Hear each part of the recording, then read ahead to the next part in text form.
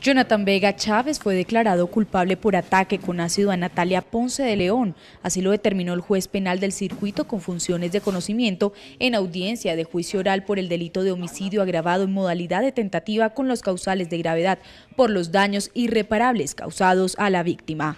La Fiscalía General de la Nación solicitó máxima pena y el abogado Abelardo de la Esprella fue el primero en confirmar la noticia en la madrugada de hoy a través de su cuenta de Twitter. La decisión corresponde al sentido de fallo condenatorio contra Vega, cuya pena se conocerá el próximo 8 de septiembre en una audiencia que se realizará en el complejo judicial Palo Quemado.